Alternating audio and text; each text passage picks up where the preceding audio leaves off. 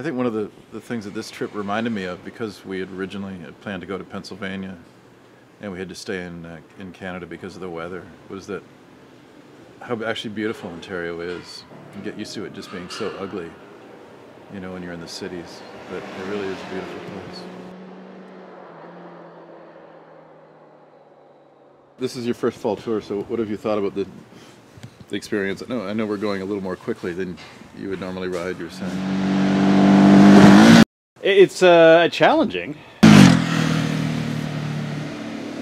You know, getting used to the new bikes and the pace has been, uh, you know, um, you know, taking a little bit of getting used to, but I've enjoyed it quite a bit. So, uh, just a different kind of touring, right?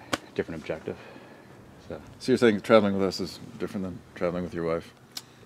Yes, on many levels.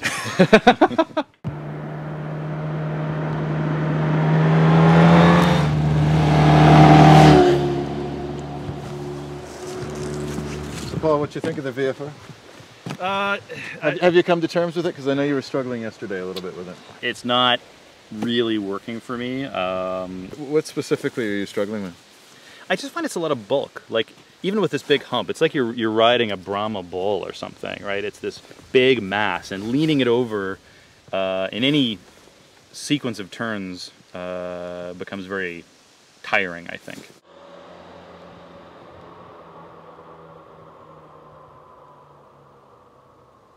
You like the power, the engine? Engine's great. Uh, this this bike works very well at uh, 140 kilometers hour plus. Not that I've ever gone that fast, but um, I know because we have to keep waiting for you. So, so yes, exactly. So you're obviously not going. I was fast, trying to conform to legal standards here. That's the that's the problem. Yeah, so. that's the problem.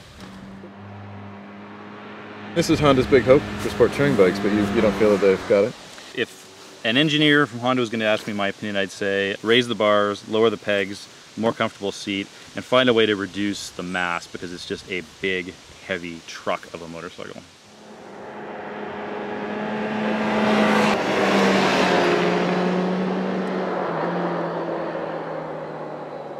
I love this bike. I love the smoothness of the motor and it's got great roll-on power and nice it's very flat power band so it doesn't really have a top end rush but it's strong everywhere. How was it when you were riding that aggressively? It's pretty uh, pretty good, I found. Did it wallow or was it? No, it uh, it was uh, pretty steady.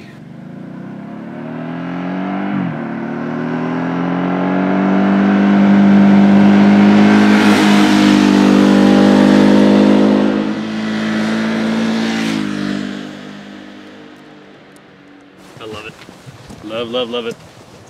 Powerful, sure-footed, uh, great view of the road. I love the wide handlebars. You seem more comfortable on this bike than than you did yesterday on the on the Honda. Completely, yeah, yeah.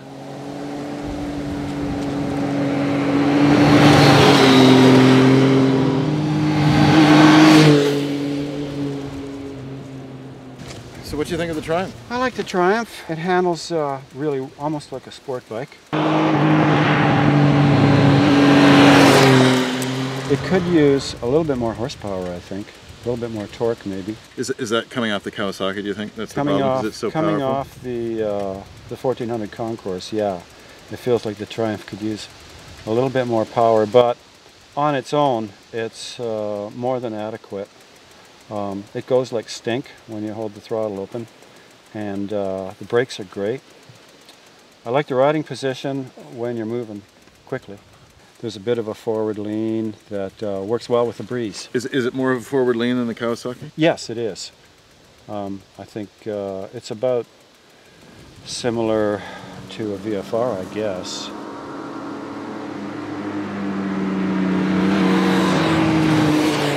Do you like the, the raggedness of the three-cylinder engine? Does it have more character than the Kawasaki's 4, do you think? It feels a bit rough, kind of raspy, uh, which is very pleasant.